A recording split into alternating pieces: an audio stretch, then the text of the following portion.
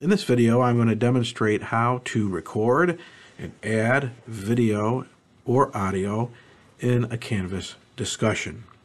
So I'm in this Canvas discussion. I am going to scroll down to the area where I have this reply field, and I'm going to click on that. And that's going to open up uh, what is called the Canvas Rich Content Editor. It's the area where you compose your writing or in this case, add a video or audio recording.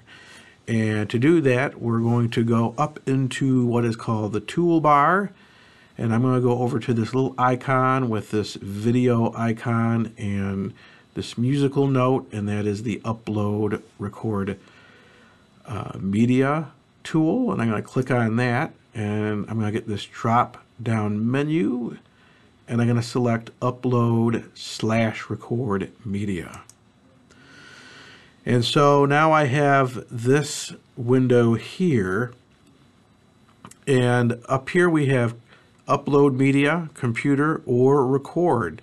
And of course we want to select record. And when I do that, I get this window here and I can see my face and, and my webcam and I have some choices. Uh, I can turn off the webcam and make it no video and that automatically would make it uh, an audio recording. So if I just wanted people to hear my voice, I would simply turn off the webcam. You can see that as I'm speaking that it's recording my voice or it will record my voice once I start recording.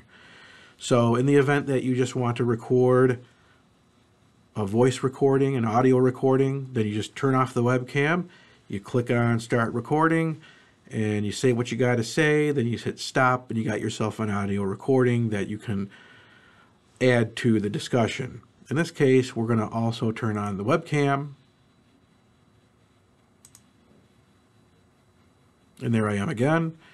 And uh, from this point, I can click on Start Recording. It'll do a countdown.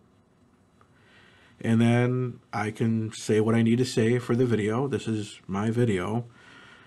And I'm going to say I'm finished. All right. So then there's a, a preview frame. So if you want to review the the video, you can. You can play this and then I can say what I need to say for the video. This is my video. My computer. I'm going to stop that. And if you're satisfied with the the video, then you can simply click on Save Media. If you're not happy with your video, then you can go ahead and click on Start Over, and we'll give you another try. I'm happy with the video, so I'm going to say Save Video and you'll see that it's adding the video here right in the rich content editor and then you're done. All you have to do is click on post reply right here in the bottom right hand corner which I will do. And there is my reply for this discussion. Um, and that is how you record video audio and post it into a Canvas discussion